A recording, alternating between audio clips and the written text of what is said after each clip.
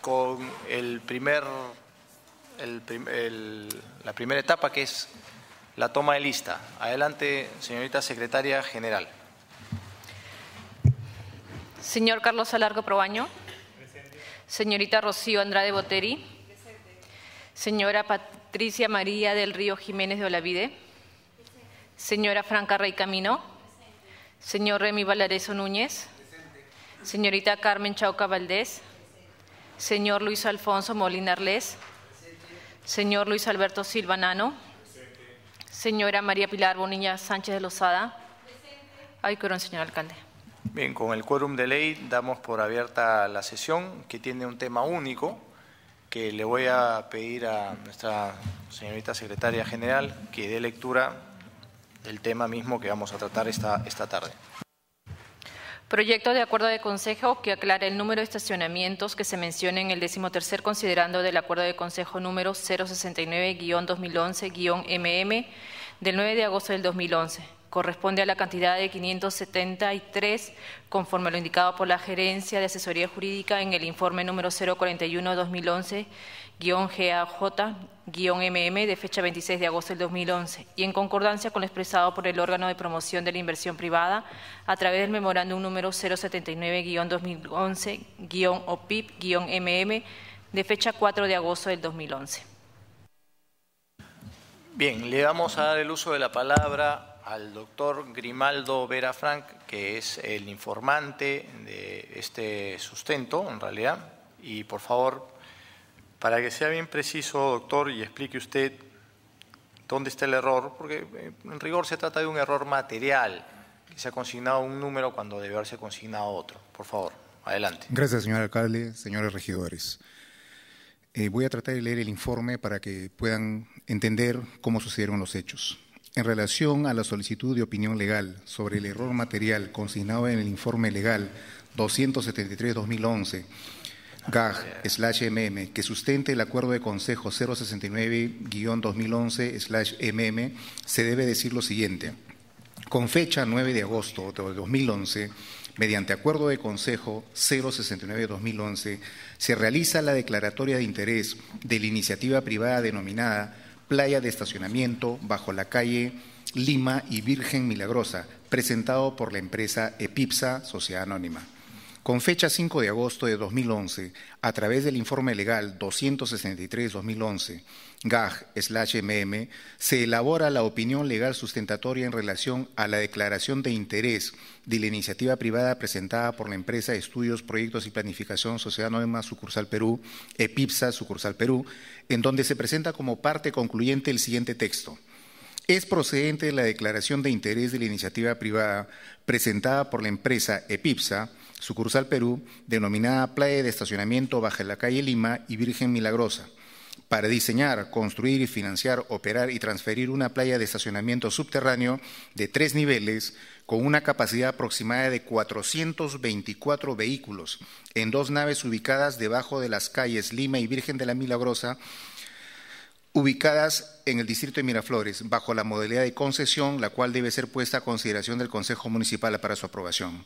Al respecto, cabe mencionar en primer lugar que la iniciativa privada presentada por EPIPSA a la Municipalidad de Miraflores con fecha 31 de enero de 2011, mediante carta externa 3349-2011, tenía como descripción del proyecto el siguiente detalle diseñar, construir, financiar, operar y transferir una playa de estacionamiento subterráneo de tres niveles con una capacidad aproximada de 424 vehículos en dos naves ubicadas debajo de las calles Lima y Virgen de la Milagrosa, ubicadas en el distrito de Miraflores bajo la modalidad de concesión, ello en una primera instancia que sin embargo, según lo prescribe el artículo 17, numeral 17.4 del reglamento del decreto legislativo 1012, que aprueba la ley marco de asociaciones público-privadas para la generación del empleo productivo y dicta normas para la agilización de los procesos de promoción de la inversión privada, aprobado por Decreto Supremo 146-2008 EF, el OPIP se encuentra facultado para proponer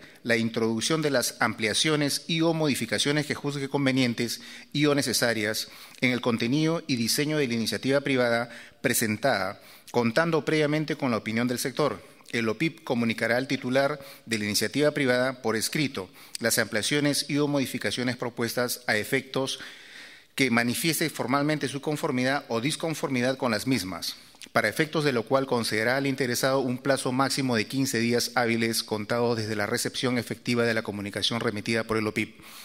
En base al dispositivo en mención, la empresa EPIPSA realiza las ampliaciones a su proyecto de iniciativa privada en conformidad a los informes técnicos presentados por las áreas correspondientes de la entidad, los cuales constan en los antecedentes del proyecto, habiendo sido descrito la correlación de las comunicaciones entre la empresa y la entidad en el informe legal 263-2011. A lo dicho, debe concluirse que luego de las ampliaciones y o modificaciones realizadas al proyecto de iniciativa privada y conforme a la normatividad vigente sobre la materia y al resumen ejecutivo aprobado mediante el Acuerdo de Consejo 069-2011-MM de fecha 5 de agosto, que la iniciativa privada presentada por la empresa EPIPSA para diseñar, construir, financiar, operar y transferir una playa de estacionamiento subterráneo de tres niveles será para una capacidad aproximada de 573 vehículos conforme a los actuados que constan en los antecedentes del referido proyecto de inversión Conclusiones. Estando que en los considerandos sustentatorios del Acuerdo de Consejo 069-2011-MM se cita la parte concluyente del informe legal 263-2011-GAG-MM, que como se ha establecido que en los considerados precedentes del presente informe adolece de error material esta gerencia concluye que corresponde se emita el acuerdo de consejo pertinente por el cual se realice la aclaración necesaria sin que ello modifique y o altere la parte resolutiva del referido acuerdo de consejo de declaratoria de interés de la iniciativa privada o el resumen ejecutivo que adjunto al mismo se aprobó. Esto, señor alcalde. Ya, para claridad de los, de los presentes y de las personas que nos están siguiendo por Internet se mencionó un número y es otro número. Usted puede hacer la, manifestación de los, de los numerales que han estado involucrados. El primero se habla de 424 vehículos, que fue la primera iniciativa que presentó EPIPSA, y posteriormente le amplió, después de sus estudios técnicos, a 573. Correcto. Y en su informe usted arrastró el número de los 400 y pico. En los considerandos. Correcto. Más no en la parte resolutiva. Y también, para tranquilidad de todos nosotros, al momento de la aprobación, en la oportunidad pertinente, se hizo una exposición. Correcto, recordarán la exposición y en la exposición se señaló el número de 573. Que está en el resumen ejecutivo. Así es, que eso estaba en el resumen ejecutivo conforme se ha podido ver. El ingeniero Alarco, yo me acuerdo que para aquel momento estuvo viendo la exposición que estaba desarrollándose aquí a la derecha y además tomó unas fotografías. Entonces, si me dejan hacerle la pregunta al ingeniero, quisiera saber si el ingeniero tomó la fotografía y ahí se expresaba el número de los 573. Sí, efectivamente, señor alcalde. El día de la exposición eh, pude tomar eh, algunas fotografías de las láminas porque me interesaba tener este contenido a la mano. Eh, en una de ellas explica exactamente, dice, la dotación de plazas de estacionamiento en el edificio es de 573 estacionamientos, distribuidos en 173 eh, estacionamientos en el primer nivel, 196 en el segundo nivel y 204 en el tercer nivel. Lo dice claramente el texto. Y también se explicó que este era el planteamiento de la empresa que había manifestado el interés no necesariamente el, proyecto, eh, si hay una empresa que lo supera, obviamente que esto será mayor o igual, pero de ninguna manera menor como el número que se ha indicado antes. De acuerdo. Entonces, ¿hasta aquí hay alguna duda? También está en sala el ingeniero Alejandro Moreno, que fue el expositor de la fecha, en aquel momento en que se aprobó la declaración de interés. Si hay alguna pregunta, por favor aprovechemos su presencia para poderla hacer. En rigor es una cosa muy sencilla. Se trata de un error material que se ha jalado de alguna información inicial que disoció entre lo que se dijo en la exposición y lo que contenía el informe. Entonces, para que no exista ninguna diferencia, para que no vaya a haber después alguna situación de alguna duda o potenciales nulidades que alguien pueda plantear, es que hemos convocado esta sesión para que se apruebe con toda claridad cuál es el número que tiene la iniciativa que se ha presentado. Que como bien ha señalado el ingeniero Alarco, tiene una base. Es una base que se va a abrir y se entrará al tema del concurso si es que terceros manifiestan su interés en participar y si es que llegasen a participar y a concursar, tendrán que ofertar sobre esa base hacia arriba en cuanto al número de los estacionamientos que reiteramos, algo que hemos venido diciendo, no toca zona verde. Ojo, no vamos a tocar el parque.